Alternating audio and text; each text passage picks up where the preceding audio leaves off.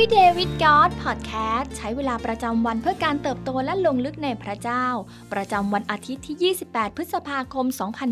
2023 ซีรีส์คริสตจักรที่พระเจ้าพอพระทัยวันที่หนึ่งคริสตจักรที่ได้รับการเสริมกำลัง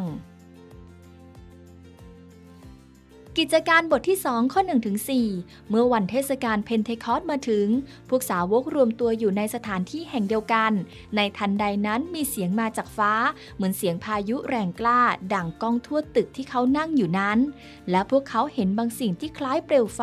ลักษณะเหมือนลิ้น แผ่กระจายอยู่บนตัวพวกเขาทุกคน พวกเขาทั้งหมดก็เต็มเปี่ยมด้วยพระวิญญาณบริสุทธิ์ จึงเริ่มต้นพูดภาษาอื่น ๆ ตามที่พระวิญญาณส่งให้พูด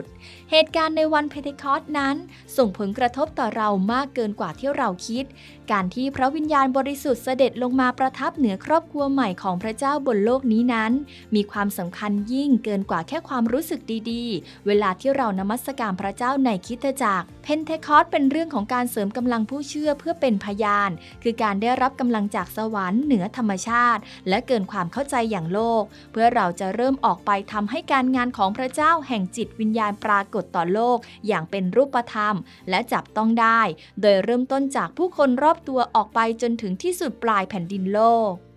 ลูกาบทที่ 24 ข้อ 46 ถึง 49 พระองค์ตรัสกับเขาว่า มีถ้อยคำเขียนไว้อย่างนั้นว่า และเป็นขึ้นจากตายในวันที่สามและจะต้องประกาศทั่วทุกประชาชาติในพระนามของพระองค์ เรื่องการกลับใจใหม่ เพื่อการยกบาป โดยเริ่มที่กรุงเยรูซาเล็ม พวกท่านเองก็เป็นพยานถึงสิ่งเหล่านี้ นี่แน่เราจะส่งสิ่งที่พระบิดาของเราทรงสัญญานั้น ลงมาเหนือท่าน แต่ท่านทั้งหลายจงคอยอยู่ในกรุง จนกว่าท่านจะสวมด้วยฤทธิเดชที่มาจากเบื้องบน มีเรื่องราวมากมายเกิดขึ้นในพระธรรมกิจการบทที่สองแต่ให้เรามาลองดูที่ประเด็นหลักบางประการด้วยกันในวันนี้ พวกสาวกต่างผูกพันเข้าด้วยกันทั้งทางฝ่ายกายภาพและฝ่ายวิญญาณ เพื่อพวกเขารวมตัวกันเป็นครอบครัวของพระเจ้า และพระเจ้าทรงเคลื่อนไหวอย่างที่พระองค์ทรงเคยทำในพันธสัญญาเดิมด้วยไฟ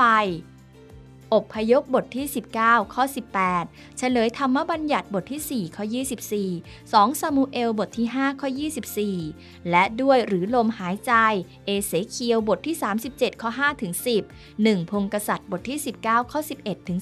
13 พวกสาวกได้รับการดลใจและเสริมกำลังโดยลมปราณของพระวิญญาณ จึงทำให้พวกเขาพูดภาษาอื่น ๆ ได้ ของประธานแห่งการพูดภาษาแปลก ๆ นี้ ไม่ได้มีไว้เพื่อตัวของพวกเขาเอง แต่เป็นเครื่องมือในการประกาศข่าวประเสริฐของพระเจ้า เพื่อชนชาติทั้งหลายจะได้ยินถึงพระราชกิจของพระองค์ ณพระสัญญาในกิจการบทที่สองมีทั้งส่วนที่เป็นประวัติศาสตร์ซึ่งเกิดขึ้นแล้ว และส่วนที่ยังดำเนินอยู่ต่อไป เราทั้งหลายต่างเป็นส่วนหนึ่งของเรื่องราวที่ยังไม่สิ้นสุดบริบูรณ์ เพราะเหตุการณ์ในหนังสือกิจการยังเป็นจริงอยู่ในชีวิตของเราทุกวัน เราเองก็เหมือนกับเหล่าสาวก คือเมื่อเราเป็นหนึ่งเดียวกันในจิตวิญญาณ กลับใจใหม่และบัพติศมาในน้ำและพระวิญญาณ เราก็จะได้รับการเสริมกำลังเพื่อเป็นพยานของพระคิดเช่นกัน ดังที่ที่พระเยซูได้ทรงสัญญาไว้ในกิจการบทที่1-8ว่า